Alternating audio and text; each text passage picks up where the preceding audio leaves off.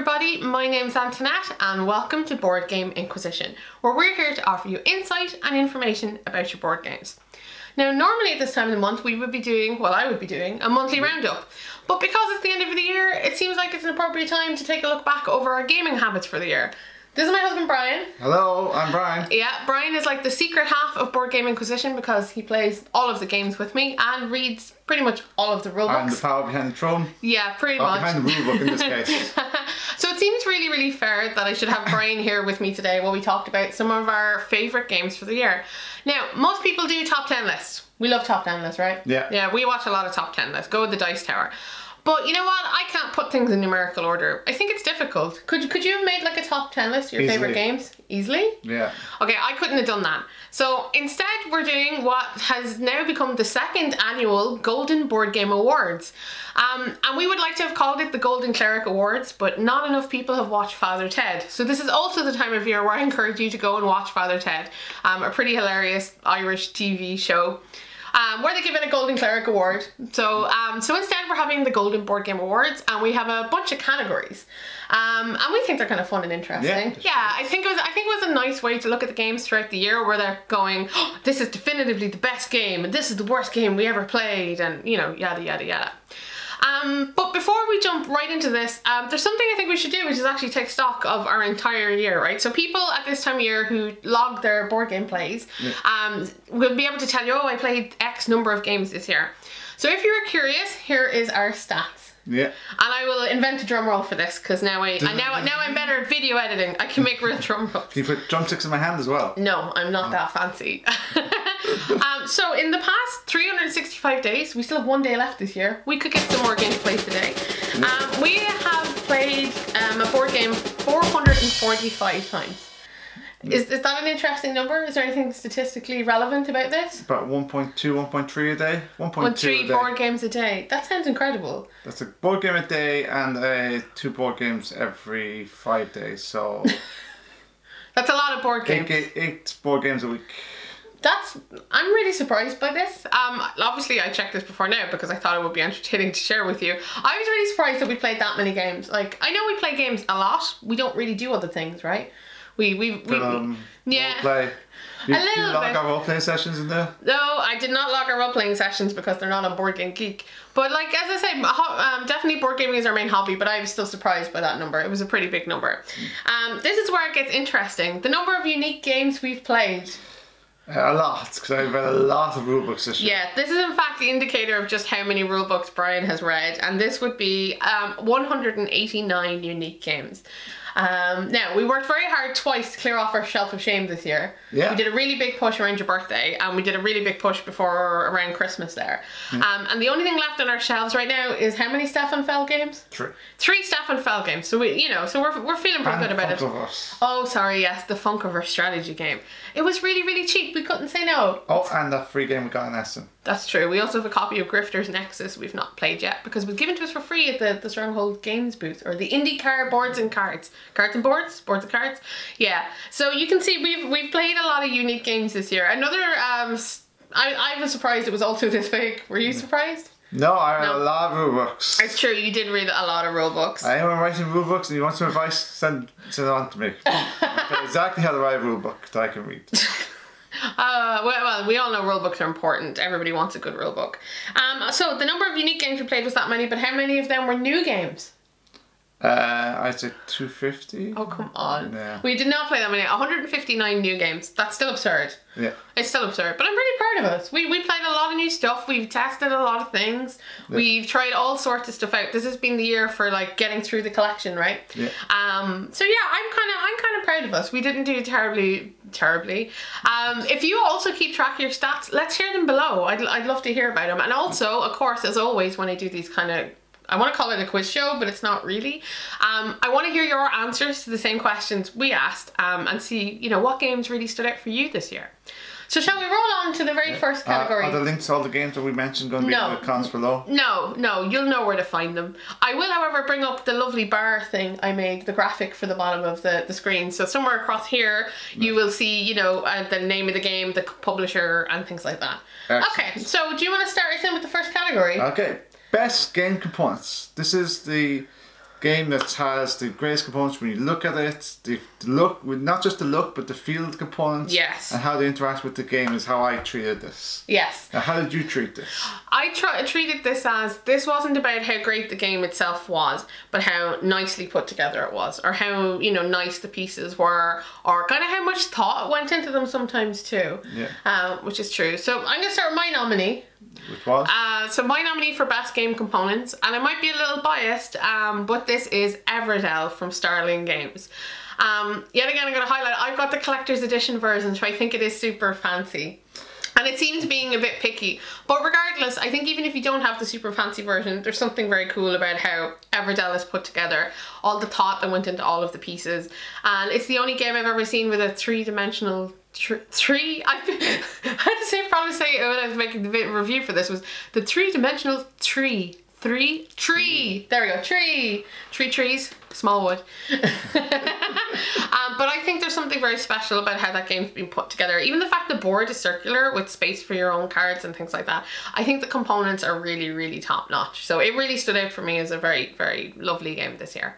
So what about you? My nominee Xia, Legends of a Drift System. Woo!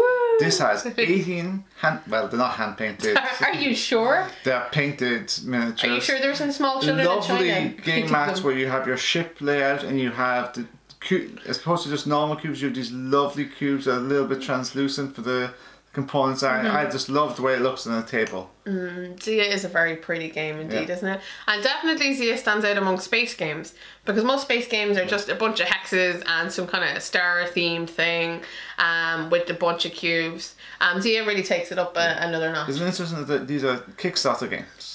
Oh yeah, is it a Kickstarter game? It was. It is a Kickstarter. It is a Kickstarter we didn't game. get it from Kickstarter, of but course it is not. a Kickstarter. We didn't get. Everdell from Kickstarter either, but sure no. It is a Um, Kickstarter it is a. Kickstarter game. Yeah, that is interesting. So do you guys think that, you know, Kickstarter components are just that much better than regular games? Have Well- you had anything else that stood out this year that wasn't from Kickstarter? Nemesis is also Kickstarter. Oh yeah, Nemesis. That's true. Yeah. Few them. Okay. So maybe it is just the fancy games are coming through Kickstarter. Um, I'd love to hear your opinion on that. Do you think that the games that are just being released normally just don't have this? Well, you know, have to sell it up front. Yeah. So you can't just go, here's some pieces of wood, have a nice box. You have Mm. to go, look what's inside the box. Look at these cool miniatures. It is true. It's very true. So, who did we decide the winner was? And we had a big argument over this, guys. This was a very difficult, the I difficult decision remember. to come to. I already know, so it's fine. So the winner um, for the best components is Everdell. I think it really does stand out. Like I get, I get Xia is better in terms of space games, but in general, I think you could have done more actually with Xia to make it even fancier. But it might have, might have ruined the game a bit. But It's there's also expensive also, it is. also, Everdell's got all those very cute wooden meeples, and they're all completely unique and different. It, it ties in. I think okay, it deserves can it. like wooden meeples. I can like wooden meeples. They're rather, rather yeah. cute. Okay, so yeah, this question probably should have come first um, because last year we had the most outstanding Gloomhaven in a Gloomhaven award, and of course the winner was Gloomhaven. really? Yeah, I know, shock, shocking information. Um, this year we have the Best New Designer Award. And my nominee for this is, of course, the ever wonderful and they're only recently discovered um, Stefan Feld. Brand new designer. Brand new designer, never heard of him before. No. Stefan Feld um, is one that's really kind of wandered into our life by accident. We've had Castles of Burgundy for like a year or so. We really liked it. It's his most famous game. And then I accidentally picked up something else belonging to his. It was Oracle of Delphi. And we liked it a lot. And then we got to Trajan, didn't we? Trajan, then. Did we get uh, Trajan first? I'm yeah. not sure. Either way, Stefan Feld has been putting out some pretty unique and spectacular games. And despite how many he's put out, they all feel a little bit different. Now, yeah, they're all a lot of point salad and things like that. that that's I- true. I do like get points for just moving the piece. We do, but we we do like that style. I have to say, he hasn't really like let us down yet. Um, and as I, as I was start as I stated at the start of this video, we have three more of his games unplayed yet that we picked up too that we're really looking forward to trying. Um, so he's definitely like our hot new designer of the year. Definitely my nominee as well as Stefan Stefan Feld, yeah. Hadn't Hot- heard of him before the year. Castlevania I- could have been designed by anybody. I kind of knew who he was, right? We Yeah. did. He was there with like Rainer Knizia and you know those other Germans who made games. but yeah, Stefan Feld's really been a, a page turner. That's what I want to call him a page turner. It's like we got one and we're like, what will he do with the next one? I'm really Yeah. impressed. We've only we only really had one misstep. We didn't really like Carpe Diem. But other than that, they've been going down really solid. So, Yeah. who's going to be the winner for Best New Designer of the Year? Oh, I better win this category. Ooh, and the winner is well, okay, we're giving it Stefan Feld. Yeah, you should definitely check out some of his games if you haven't already. Obviously, you have to like a dry Euro, and you have to like getting points all of the time, and not really have any theme. But we've just committed to it now. Um, you couldn't like his games are different enough that you will find a game that you like of his. Yeah, they're all they're all quite unique. Like you think they'd be far more samey than Like they if you are, want dice rolling, you do Castles of Burgundy. If you want a, a lighter game, you do La Isla. I like La Isla. That's quite cute as well. So yeah, definitely, definitely worth checking out the hot new designer of 2019, Stefan Stefan Feld. okay, so on to the next category. Yeah. What's the next category? Games that we should introduce people to. Ah, so this section is really for you people like us. You've got a lot of board games. You've somebody coming over who hasn't played board games before, and obviously you don't want to scare them away. You want to introduce them nicely to your hobby because board gamers are quite fanatical, aren't we? We're all like, Yeah. I love this. You must love this. Allow me to share it with you. Um, and so this is the the one that goes. So what would you show to anybody to have them, you know, Yeah.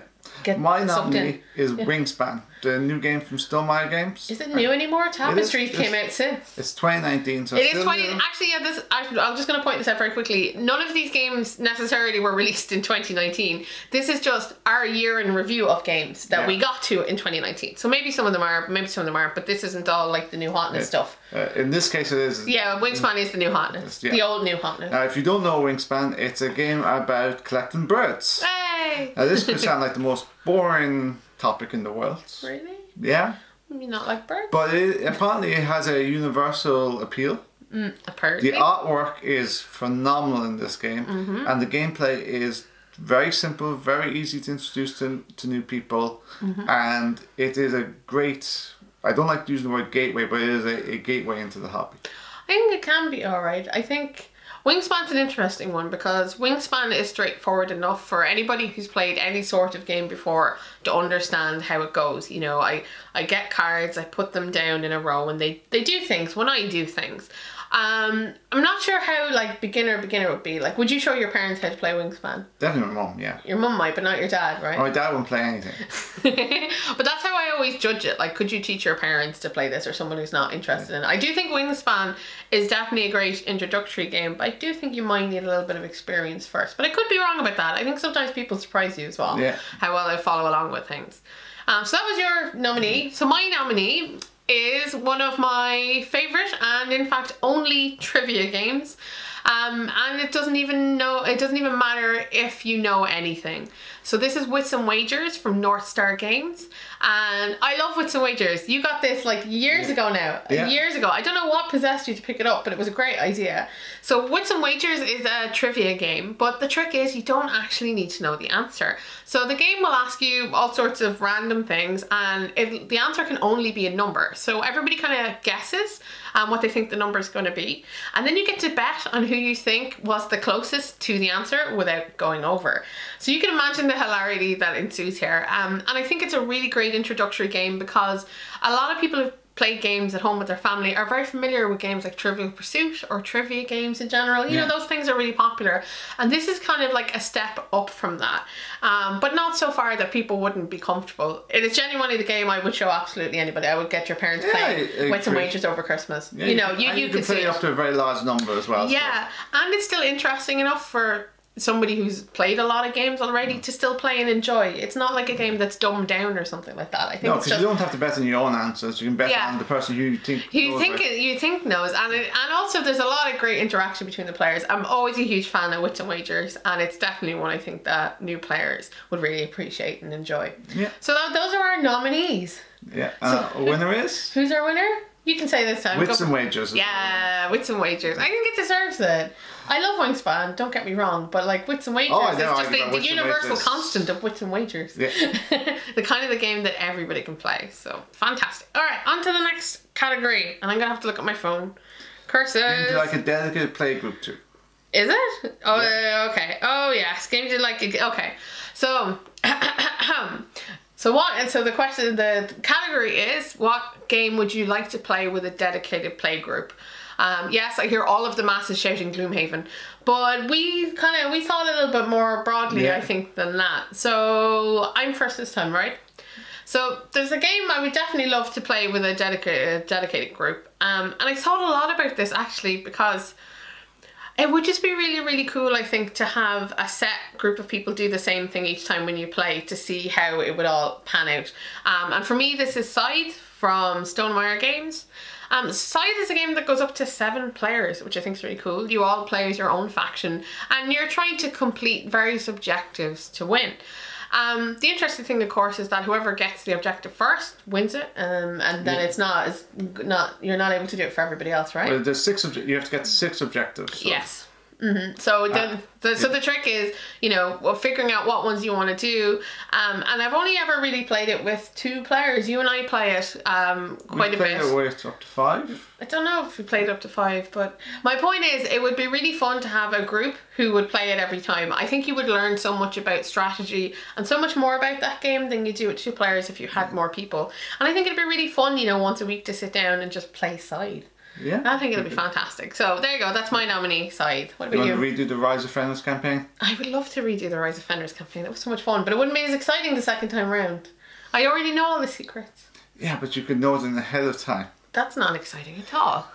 So what do you do? What are you picking? Uh, my nominee is the game that you could play forever, which is Terraform Mars. For those people who know, there's some in this game called where you the planet and you go off and you do things, but what you really do in this game is you play cards to your tableau, and once in a while someone says the game is over, and you're going, oh.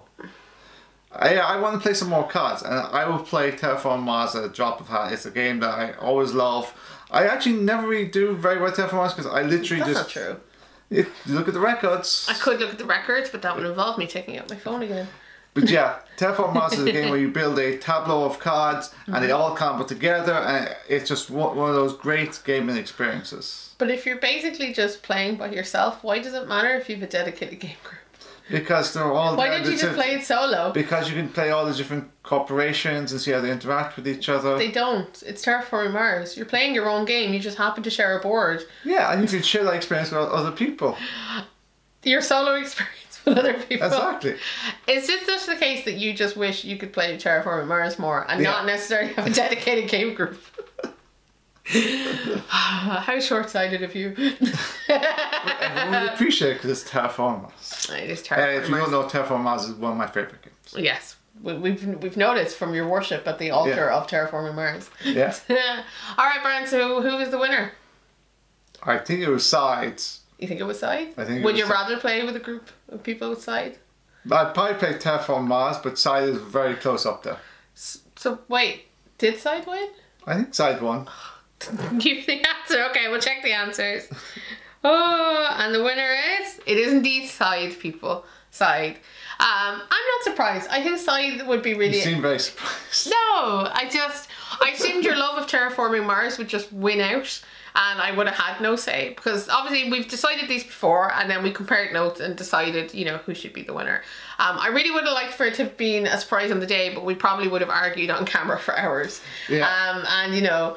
But um, I'm surprised. Yeah, I'm, no, I'm surprised that it's Scythe. Although I'm glad it is. I think Scythe is the one that deserves the repeated plays to really get into the strategies. That's what I think. Terraforming Mars, you will always know what you're doing because the cards But tell you what to do. repeated place as well. What? Terraform Mars deserves to be played over. Yeah, but over. we could we could play it over and over without a dedicated gaming group. This is the very specific phrase. It's nothing to do with playing a game on repeat. That's okay. I'll give you this win. Yeah, yeah, you'll give me this one. Okay, so next game on this pile Best is looking game. yes, indeed, best looking game.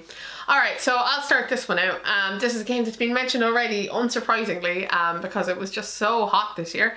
And this is Wingspan from Stonemaier Games, and I think there's something very special about how Wingspan looks and feels to really give you kind of a fantastic table presence and an experience.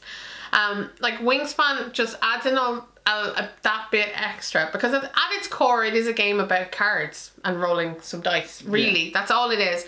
Um, but not only are the cards lovely, you get this amazing player board that you know. I love the birdhouse. Lots of people complain about birdhouse, but I love yeah, it's got its own birdhouse. I love the fact that the trays hold your cards and also hold the cards while you're playing. It's a very simple thing, but it really adds to you know the experience and how the game looks. Of course, the artwork is a major help. There's some fantastic designs in in the game, and every card you get is kind of exciting and interesting to look at. So Wingspan for me is the best looking game of the year. What about you? Okay, so I went with best looking game. I have to go with Brass Birmingham. The- Yeah. From the cover to the board, this complete. Well, it's a sequel to a really boring looking game called Brass. uh, if you ever see the two compared, you could not believe that they are based in the same game. It's just an old man with a hat on the other one, isn't it? A goldie man with a hat. Yeah, and, and all the- cover brass. And the board is the old like uh, map of England with the space for chits, with Okay. no no graphic design whatsoever. Where the new one is this phenomenal map of the area around Birmingham. The the cover is not it's not It's the old man, it's the street. It's the yeah, it's the cobblestone street cobblestones. There's two the- types of brass.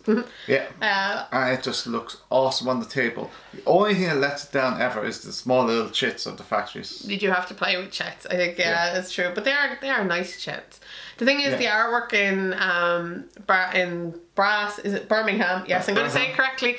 Um, it's done by Ian O'Toole, so I'm not surprised that it looks so sleek and beautiful. I particularly appreciate the fact that the board has a daytime and a nighttime side. I think the nighttime side is particularly evocative and pretty. Like and, and everything about that game also just feels deluxe. Like Yeah. doesn't it? It, it feels again, fancy. Kickstarter. It, Wingspan wasn't a Kickstarter, so that that should be the the From point. an ex Kickstarter company. ah, come on, la. Jamey's been at a Kickstarter for years now, but he knows what to do. But my Yeah. point, yeah, I don't think everything pretty has to have come off Kickstarter now, has it? No. No, Just no, a lot of them. Just a lot of them. That's fair enough. I want to hear in the comments below the pretty games you've got that didn't come from Kickstarter. I want to know because there's got to be a number of them. Stop looking. We're on camera. Behave like it. Okay. So who's going to be the winner? Um, I guess I get to announce it this time. This is actually pretty. Uh, Pretty straightforward. Um, yeah, it's Wingspan. Wingspan's just Yeah, it's a stunning looking game, and it's the only game where the rule book feels amazing along with everything Oh, else. Yeah, it's, there's some there's something about it. If you saw my review for Wingspan, I got super excited about what the rule book was made of. Um, but it is yeah, it's just a beautiful game. You can't deny it. I think it deserves this very much. Now for the most interesting category, the best named game. Yes, the best named game. So this is the game that has like the coolest or most interesting or you know fascinating Evocative title. name. Yeah, because it's not something like yeah, people talk about board game artwork. You very rarely talk about the game title though, right? Yeah. And that's got to be a big deal to come up with as a game designer. You know, what do you name your game? Will it draw people in? Does it sound Yeah. interesting? You know, does it describe exactly what the game's about? Yeah. So Um, what was your nominee? I Well, might not. you can you can go. What's So, your nominee? My one is very straightforward. It's called A Pleasant Journey to Neko. Yeah. For those of you who don't know, Neko is a port in the South um, Arctic. You're like, is it? Yeah, oh, it's the Antarctic. Yeah, it's Could the one with the penguins. Yeah, the the Place with the penguins, yeah. Um, So why do you like the title so much? because it describes exactly what the game is. So you are it trying pleasant? to. Yeah, it's very pleasant when you win. So it's a lovely little tableau builder where you are building a path from the South Americas to South America? yeah, it's uh, from your port in South America all the way to Are you sure it's in South America? yeah. yeah I totally so. think he's making this up, I by the always way. make things up. We'll talk about this in a little bit, but to the Antarctic. Mm-hmm. I hope I have the right Antarctic. Or you could just say that you're building a shipping route so that you can go and see penguins. Yeah, That's see penguins. basically what it An is. ecological sound. Yes, an ecologically sensitive traveling route. So and the and you think the title is just that good out of Yeah. everything that's come out this It year? evokes exactly what it is. It's about the journey. So you just build your pathway across the hmm. report. It is a it is a fairly unusual title because it sounds like a full sentence. Yeah. A pleasant journey to Neko. But it doesn't have a colon. Usually when they're a full sentence, it's like X. The Y. the Great Awakening. That's true. That's very true. So okay, I, I, I think yeah, I agree with you. It's an interesting title. It's one you definitely stop and have a look at and go, what's Yeah. that about? Uh, so my nominee is a little bit more straightforward than that, um, and this is for Vindication from Orange Nebula Games. Um, so. Vindication is a very special game in the sense that its title is very much like a Jason Statham movie, where it describes exactly or answers every question you might have about the game by answering with the title. So, you know, what's this game about? being vindicated. Um, you know what? What? What really are you doing? Well, you're trying to vindicate yourself. Vindication. Yeah, it's like the, the the basically the plot of the game is that you've been kind of thrown out of society for being a bit of an asshat. Kicked off your ship. Yeah, kicked off your ship, and now you've landed in a whole new world, and here's your chance to like do things right or change things or to, to vindicate yourself. Um, I think it's a really interesting title. It's one that you're like, what the hell is that all about? Vindication. It's a re- it's a really odd title, um, but it really fits everything you do in the game and describes it kind of perfectly. Yeah, beautiful I think it's well. yeah, it's a beautiful game, absolutely gorgeous game, um, and really fun to play. We've got a lot of fun Yeah. with it. So yeah, so Vindication. That's my nominee. Okay. So who's the winner, Brian? and the winner is a pleasant giant Neko. Yeah, it totally deserves it, doesn't Yeah. it? It is such and a cool got 10 title. It does. Yeah, and if you actually know what Neko is, it makes sense. It's also got some very strange fish meeples that I had to ask on the internet what they were. It's a type of fish. They're very rare Antarctic fish, I believe. I believe. So, okay, that's awesome. All right, so next, next category. category. Okay, I'm gonna, I'm gonna look at my phone. So this one is, oh, I like this one. Okay, so coolest mechanic. Um, so as obviously as more games come out, we're seeing different types of mechanics and new ways of exploring how to play games. Um, and out of all the games we've seen this year, we, we decided we think about, you know, what was the coolest mechanic we saw? What was kind of interesting or different?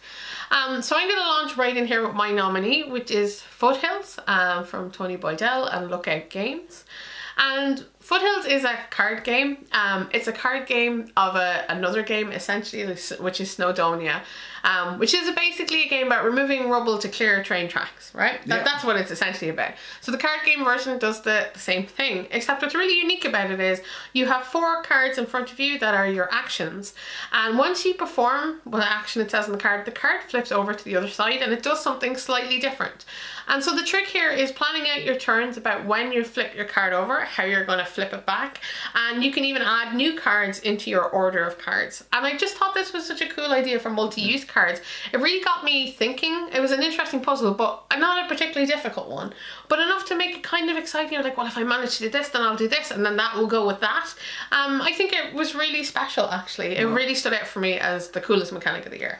It's a good mechanic, but it cannot beat my one. So my one is from a game called Brussels 1893. I Mm-hmm. hope I have the year right. Oh, check the box. Yeah, I got the name 1893. right. I said Brussels, You did say not Bru- Bruges. You've been saying Bruges like for the past week. Yeah. we made Brussels. Brussels. Brussels, 1893. Right. Yeah. So in Brussels, it has a couple of really cool mechanics, but the one I will focus on. So there's a five by five grid representing all the actions that the players can do. Yeah. Mm-hmm. And then you'll draw a card, and it'll tell you a grid point reference, and you will put down this right angle, and that will close off an area, and that's the only area in which players will be able to do actions this round. Mm. So going first and having the ability to place that right angle is very important because Yes. it really limits what the players can and cannot do this round. Mm-hmm. And since you can have, per- you can also build personal buildings in this area, so you can really focus in on getting your buildings involved and not your opponent's buildings involved. Mm-hmm. And it just blew me away to see this very simple mechanic, very easy to explain. Yeah. but had great strategic depth in the game. Yeah, I think so too. I think it's a very it's a very unusual one to give somebody kind of the power over the group of actions you're going to be able to perform in around. Especially like you said, if you've already put your own houses or things like out like that, and you're forcing other people to have to use them, which is to your benefit. It's very cool. It also has a very cool little roundel mechanic in it as well. It's Awesome got it's got a clock that moves um, for when you build things to tell you what building materials you need. Yeah. I actually think Brussels 1893 Yeah. is full of all sorts of actually really cool and interesting things, and it's not a new game either. And very simple, more importantly, it's very simple to explain. Usually when you Yeah. Mm. have a cool mechanic, it's usually like, oh, by the way, and you have to do this and this and this and this and this. And it's a long teach to teach the mechanic. But in this case, it's like Mm. to three me, seconds. to me, I think a really truly good mechanic should be simple, yeah. and it should be smart, and you you know them when you see them though. You go, Like, oh, the oh, first that's time you great. drafted in Dominion. The first Yeah. time you played Dominion and you, you, bu- you were building your and you feel everything clicking together like that. You Yeah. know, yeah, exactly. I think you know it when you see it. Um, so the winner for this category is then. Brussels, 1893. 1893. hmm It's true. Um, it's pretty. It's a pretty Yeah, spectacular it's a, game. it's a amazing mechanic. mechanic yeah and it's really fun to play too Yeah. i think there's so i i love i love that feeling when you go wow that's so smart i'm having so much fun playing with this Yeah. i can't wait to use this in whatever way that suits me best. You know, I think it, it's so so smart. Yeah. So that that yeah, that, and that's from Pearl Games. I didn't get to mention Pearl Games. Pearl Games. Pearl Games. All right, so let's mosey on to the next um, category, Okay. which I believe is. Um, and we kind of, uh, I don't feel like we kind of, we talked about mechanic, so it feels only fair we should talk about theme. So, what games do you think have the most original theme? What about you, Brian? Jump in. Okay, my original theme for this one Mm. is a game called Barrage. As if you haven't heard of it before. Barrage Barrage is a game about generating power. Now, there are tons of games about generating power, but this game yeah. is about building dams to hold water back and then feeding that water down through your pipelines to your power stations to generate your your own power and your own victory points in the end. And it just felt very different to any other of those power generating games, and it was just a lovely team. Really? Yeah. You sure you just. There's the- also mechs in, in it if you've read the backstory. Are you, yeah, it's got Tesla or something in there. Yeah, doesn't it? Te- it's always Tesla. It's always Tesla. It's, It's just like side. It's got it's got mechs who built out the, the Uh, but like, so are you choosing this because it's supposed to be an original theme, or just because you like Barrage? Because I- it's sounding like it's just no. It's like, a very original team of building dams. of building dams. There I has been no other games about building dams or or blocking water or No, can you No. another game that builds dams? um Lowlands is the one we should build the You dams to prevent all the water. It's the same thing. A, low, a dam, a dike is a dam of sorts. Also, I have not played Lowlands. Me neither, but I know it exists. Fields of Arle is another one where you stop all the water coming into your thing, isn't it? And then you irrigate the water out to get your peat. Again, you're not. I'm. I'm just saying I, that this theme has been done you- before. You're saying any game. This game is also not set in Netherlands, where every other. Oh, oh, I'm sorry. It has to be specific, a specific location. My point is, I've heard of other power games, and I've heard of other games with, you know, th- that- with this with this theme. combined uh, But if the, but if you feel that that's the most original theme you came across in every game we played this year, you're lacking in imagination. Oh, I'm walking right. out of here. Close the camera down. Uh, you know, you're entitled to your opinion, yeah. however bad it may be. Oh. Fair enough. Fair enough. All right. So, what do I think then has the most original theme? Well, we mentioned this already, um, and this is a pleasant journey to Neko from the Wood Games. And as Brian tried to, and well, pretty Yeah. much successfully explained earlier, this is a game about traveling to the um, the Antarctic. I hope it's the Antarctic. Traveling towards where the penguins live, Yeah. and you have to create shipping lanes, and you want to do it in such a way that it's ecologically sensitive, so that you don't kill off the penguins, you know, homeland. You don't, you don't want to get rid of all, you don't want to get rid of where they live. Um, and this is a very crazy theme when you try and say it out loud or explain it. I remember when I heard it first, I was just like, all right, penguins, I'm with you. But there, there's so much more to this game that I also think the theme is really well implemented. Is the other thing about the game. It does feel like you're kind of you're going on a journey and you're building your journey as you go along. Um, less to do with penguins, more to do with ships. But I just I thought it was just such a unique idea. Yeah, well, the penguins So- are there in the background. so Yes, they are. They are. They're there in the background. Mostly you're just gathering fish. Yeah. fish to move your ships. And Um, dealing with your pollution that you cause. yes, making sure you don't have any pollution because that would be bad. Yeah. Yes, Captain Pollution Planet. is bad, kids. Yeah, yeah. Don't pollute. Uh, power's inside you. All right, so the winner for this category is, Is- and you can tell because I snubbed you so badly, It's a mm-hmm. pleasant journey to Neko. Like I, like Barrage is pretty cool. Don't get me wrong; it's pretty innovative for a dry Euro game. Yeah. But the Pleasant Journey to Neko is all- in a league of its own, really, when it comes to theme. I can't Yeah. think of any other game that's kind of like it or It really it. sounds like it should be a, a fantasy game. You're like, it's, you know, Bilbo Baggins on a, on a ship somewhere, so, somewhere. Yeah, You know, and a like having a pleasure cruise.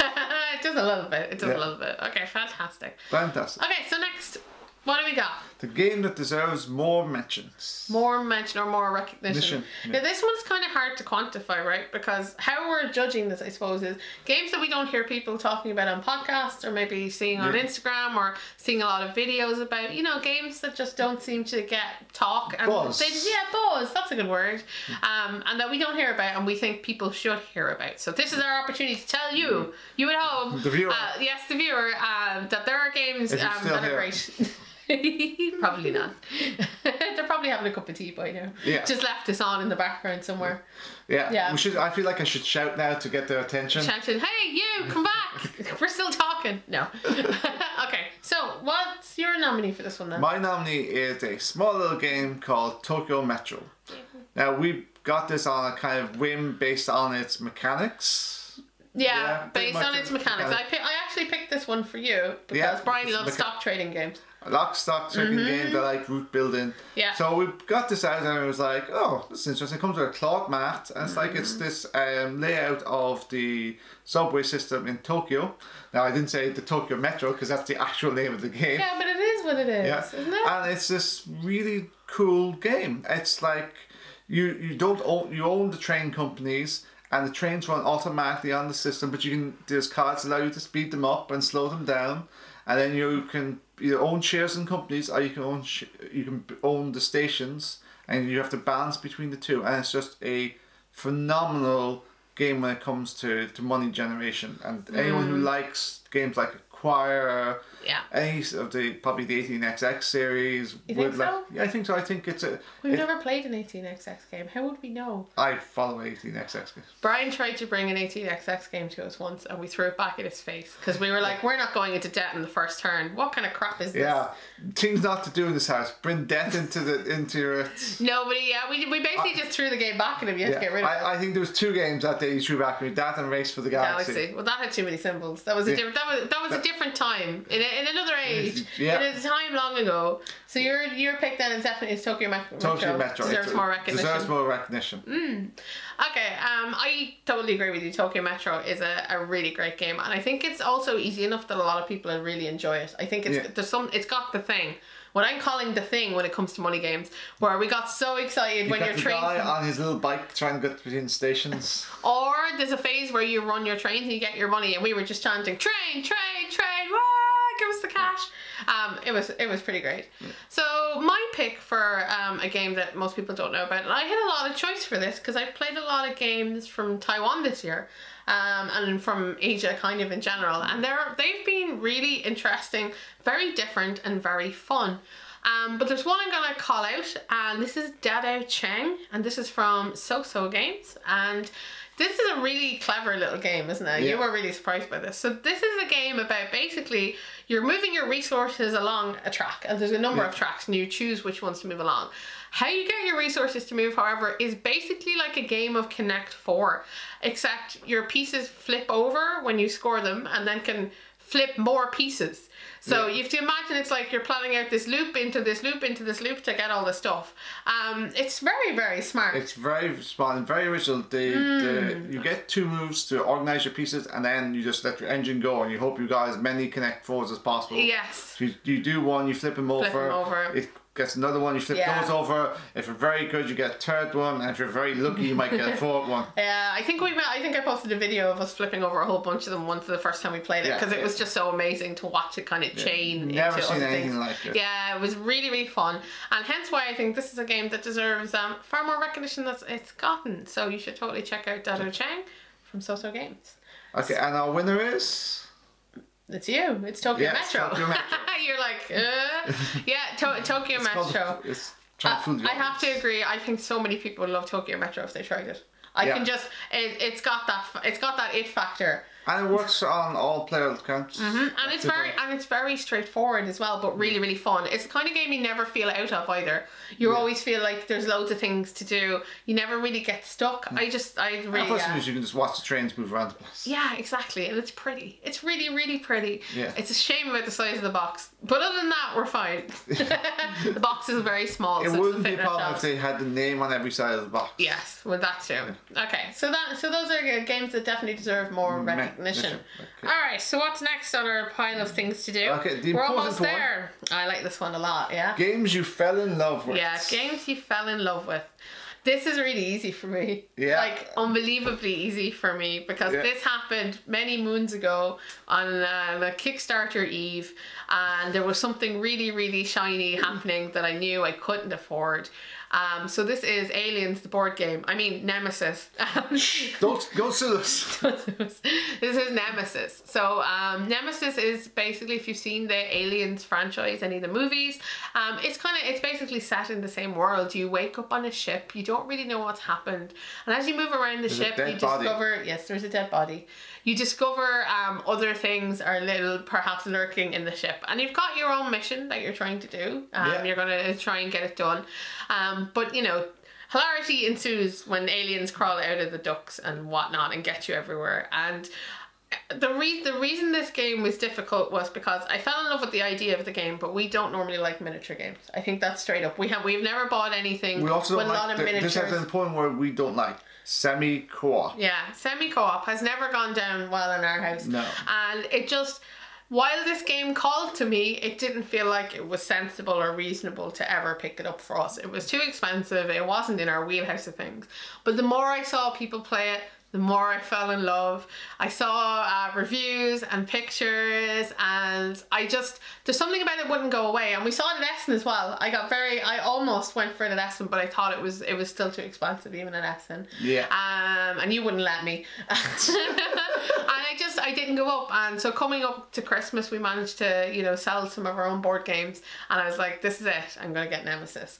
And you know what the best part was? I was right. I was so right. It was it was brilliant right out of the gate. That that game is something special, and I'm totally obsessed and in love with it. No, I So, agree. Like, I- I I don't it- think it's semi co-op. I think it's competitive with an element of which Yeah. you know I might do things to your advantage, but Yeah. Mm-hmm. still I'm trying to get my Yeah. stuff done. It Yeah. reminds me of a game um, called Battlestar Galactica, okay. Yeah. where you used to have a trait element. We used to love that. Yeah, we used to play that a lot when we had a lot of people, but I was worried that it was just two of us. But the thing here is, is basically my love story with Nemesis is that I fell in love with it a really long time ago. And you know when you love something a lot and you really, really want it and it shows up, um, it normally doesn't live up to your own hype because you kind of went a bit nuts. This totally exceeded my hype. So this is definitely the game I fell in love with this year and hopefully I won't fall out of love with anytime soon. So, So- Nemesis. So what, where, where are your lovely Well, feelings? my love goes back to now our, our favorite new designer, Ooh. Stefan Feld. Yeah. It's a game called Trajan, Yes. and it has this great. I think it's called. Is it Roundel? It's a Mancala, isn't it? It's a Mancala. Roundel, Mancala. I think it's a roundel. It's six spaces. You have yourself with two pegs in each space. It's in a circle, by the way, Yeah. in case we didn't say that. It's in a circle. It's very it's important. So it's in a circle. when you take one take an action, you have to move p- enough pegs from one space so that they finish up on that space, and then that will change the number of pegs in these spaces, which would change how many actions you can Mm. do. And if you're getting confused, that's okay because this is what this does to your your your Yeah. brain. you and have to you have to see it. It's, it's a it's a, It's vi- a- visual puzzle, isn't Yeah, it? Yeah, it's a, visual- vis- it's a visual And there's puzzle. some stuff happening on the board, but mainly it's this circle, and it's just great. It's just Mm. Yeah. like you do this, you can do this, and then you do this, and it is just phenomenal. It is it is like the most interesting try Euro game. Um, Yeah. There's something so cool about the way you move those pieces and how you plot out your turn. Like there's nothing you don't know about what's going to happen next. Yeah. Everything is knowable, so you can plan ahead accordingly. Planning ahead is the really hard bit. And what also is really hard is that how long it takes to play the game varies depending on what kind of actions you do. So the further you move your pieces, the quicker the clock runs out, which is horrible, horrifying. Especially when your opponent is doing this. Nothing. you're doing a seven piece move again. A seven piece move. That could be an action for every player at this yeah, table. I know. Uh, that's because I don't can't plan well. I move one thing, one thing, one thing, all the things. Yeah. So, but yeah, so I uh, Trajan is a pretty I good love thing. You love Trajan yeah. more than terraforming Mars. No. Oh, so you didn't really fall. in love. Okay, maybe you did fall in love just a You little can bit. have multiple loves when it comes to board games. Board games are not jealous. Really? Yeah. I don't know, Brian. I think they'd be looking down at me with like condemnation, going, "How dare you!" How dare you have not played me in six months? If anyone's doing that, it's Robo Rally. Poor Robo Rally is staring down from the ceilings, going, "I used to be the favorite." Yeah, I used to- still is a favourite. Ah, it still is a favorite, yes. But as you pointed out, apparently we can have lots of board game loves. I'm not like that, but one love for me. That's it. So, who's the winner of this category then? We all know who the winner is. It's, Nemesis. Yeah, and to be fair, you loved it too. Yeah. You were surprised. I, I, I, lo- I love when I'm right. Um, it doesn't happen often enough. Uh, but since I'm usually the one who picks the board games, if I had been wrong, it was a terrible investment to have been wrong with. I would have easily just sold it on. It's so such Maybe. a hotness. Yeah, it's well, it's fantastic. And more importantly, after we bought it, the price just went straight through the roof and Yeah, totally I caught you while it was cheap. I told you. Some Well, days I have my cheap. moments. Yes, cheap, not really cheap. All right, so we're coming up to the last, yeah, the last section of our entire debacle. So, in the honourable name of this channel and everything I do as a board game inquisition, inquisition and a high inquisitor around here apparently, um, this is the award for no one expects No one expects. the board game inquisition. No, no, they don't. I was Apparently. waiting for John Cleese to walk through the door. Oh, that would be cool if the, the Inquisition. I need an Inquisition hat. I Yeah. would love to get me a hat That should or for next a smoking jacket. That's what I'm thinking for next year. Because normally I'm by the fireside, but we don't have we don't actually have the fireside So- on today. We did paint the room. Did you notice how nice and green it is now? That was what we did for Christmas. All right, so the no one expects category. Do you want to start this one off? Yeah, so we got, uh, we were at Essen. And actually, this goes way back. That This right, like in kid- 1972, five years before my birth. Well worked out, the way. Uh, so, last year in Kickstarter, there was a game by Design We Love called Simon Luciani. yeah, Simone Luciani. It's a movie. You know, this is my pick. That's my pick. I picked Barrage. Because you already picked Barrage for a different one. Oh, okay. Yours is Zombicide. Oh, yeah, because it says Zombicide Barrage down here, but it's actually because Yeah. we don't. Okay, It says Barrage so Zombicide. take two. uh, I'll cut some of this in because it was still kind of good. Okay, apparently my, my pick, well, actually, yeah. It's okay. I'll, I'll edit some of it Yeah. out. okay, so around about a month ago, games a game started to get really really cheap that was never cheap, and we looked Was it at it and ever went, cheap? no, I've never seen it this piece cheap. of hair. So it was everywhere. It was dirt cheap. Well, dirt cheap for for Cheaper. Cheaper. Cheaper. Half the cheaper. price. Half the price. That's So it, we yeah. looked at it and we went, it's a game with miniatures in. We don't tend to like games with No, miniatures in No, we don't. But Nemesis was right. So maybe all these other miniature games could be right. And my parents going, Brian, you have to get you have to get a present for yourself for Christmas. It's like, okay. Oh, so I oh, woe going, betides me. My parents are buying me a gift for Christmas. a gift I want. I know. What is this?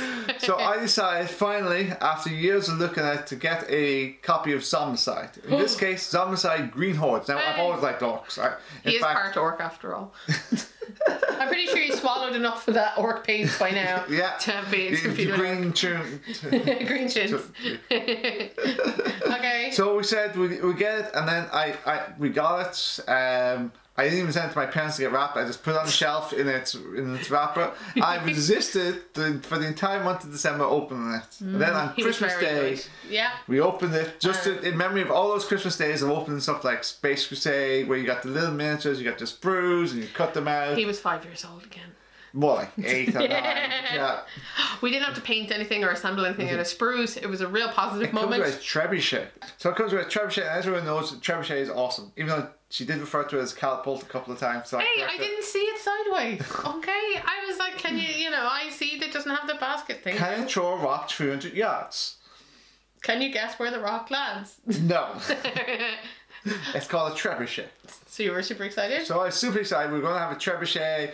We're going to have some adventurers. We're going to roll some dice. Then we're going to put it back up on the shelf and never So- see it again. Till yeah. we, they take the miniatures down to rubber. And we played it. And it actually was really fun to play. That's true. I expected much more crappy dice rolling and us complaining Yeah. that you know we had no um, power over what we were attempting to do, and it wasn't too easy either. I thought, well, we only did, we've only done the introductory scenario, but I Yeah. expected it to be a little bit more kind of walk in the park. We normally hammer anything that's cooperative between Nah, us. I was stupid. You were stupid. Brian got himself killed. It was really funny.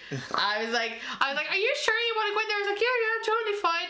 I, th- I think what makes this game a little different is the fact that the enemies automatically hurt you if you are next. Yeah. If they can hit you, they're gonna. If they can reach you, they will hit you. And I think that adds a lot actually to the game. It makes it definitely a, that bit more dangerous. And if anybody dies, the scenario ends But in this scenario. in that, that particular scenario, which I also thought was super smart. Yeah. So it meant you had to play in a particular way that wasn't just I'm going to run in and roll my dice and hope for the best. exactly. Yeah, so that was a good pick. So obviously, so that was your surprise of the Yeah, year. Zombicide Green Hordes. Green Horde. I want to say Green Plague, but Yeah, it's Black again, it's Plague. like colon. Zombicide, Black Horde. Green Horde. Yeah, so, yeah.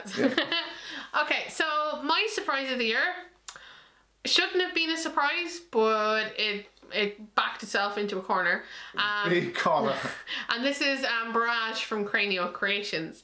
So Barrage is a game we looked at on Kickstarter. You looked at it. Uh, yeah, we, we, we like the designer. Um, I quite like Simone Luciani, and everything about this game looked really, really good. But we, we for whatever reason we didn't pull the trigger. I think it was just slightly out of our price range. we backed some other stuff at Kickstarter over it. Over it, yeah. So uh, we never we never picked it up, right? So Yeah. then the campaign continued. We're like, maybe we'll get it when it comes to retail.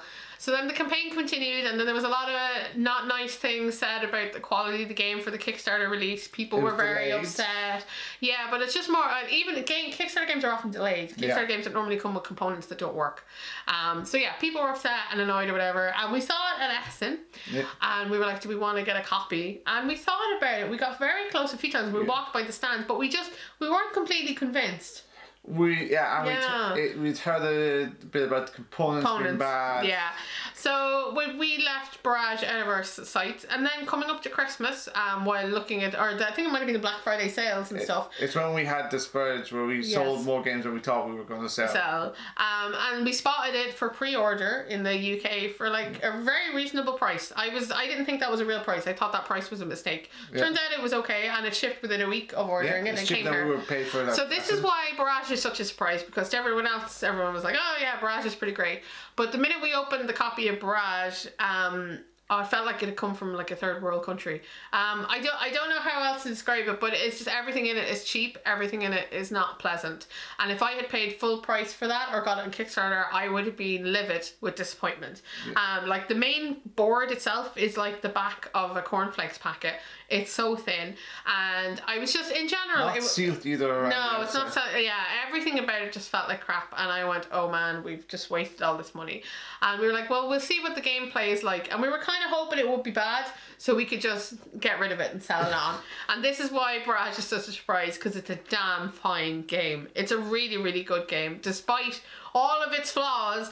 Um, Barrage is really fun to play. It's very clever. It took me a little while to figure it out together. I can't wait to play some And more have, games. yeah, and we have it has a lovely mechanic of The you never wheel. lose resources, Yeah. but they, they go away for for a while from you. You can speed up to get back to you. Yeah, so I have to say, Barrage really impressed me because it, it just it gave itself all of these negatives where I didn't think it could redeem itself, and then out of nowhere, it, it was a cracker of a game. Yeah, so awesome that that is why no one expected Barrage. No one, not No even one. us, not even us, Yeah. not even us. So Okay, who will win the no one category? who in the well? I think we both know the answer to this, isn't it? Yeah. It has to be Barrage. Yeah, Yeah. the winner no one expects. No one expects. Dot dot dot. Barrage. Um, and yet the rest of the world seemed to be really into it already, you know. No, the rest of the world was into complaining about it. Maybe, maybe, but I just for us anyway. I think it was just it, it was a real standout compared to the how it set itself up Yeah. for failure. I was pretty sure after we opened the box, I was going to go close that box. Close that box and it it will push it. Yeah, Next time we go to sell some games, we can sell that along with it. exactly. So um, so that's why Barrage is the winner. So this rounds out um all of our kind of top picks for the year. Um, it's been a great year, Yeah, For for our board games. I don't think it's been a great year for new board games for 2019. We actually we were looking through a collection. Well, new very to few us games. It's been yes, it's been great for new to us games for sure. Yeah. Um, and it's been really exciting, you know, being able to talk to you all about them, share them with you, and you and I play Yeah. them together, and I bring our findings, you know, to you. And I hope you've enjoyed kind of doing this with us. I want to hear your answers. I'm not joking. I say this every time, but I mean it. I really want to hear what some of your favorite things were um, from the year and what you're looking forward to for next year. Have you made any New Year's resolutions yet? What are we going to do next year? Less rule books. More games, less rulebooks. There was a time where I read so many rulebooks. That's the, the problem with, with new games and things like that. Um, And next year we should have a category of best rulebook. Uh, yeah, we had one last year, you know. Did we, we? we yeah we did last year because last year were a completely different series of questions. Yeah. But um yeah, so that's basically what- what's been going on here. I hope you're enjoying you know your end of your season. I wish you a happy and healthy 2020, where I'll continue to re- review more games. Yeah, I know. Unsurprisingly, I still I still have a stack to get through. Um, so until next time, everybody, um, take care and thank you for watching. Bye bye. Bye bye. No one expects me. No one expects you. Too true.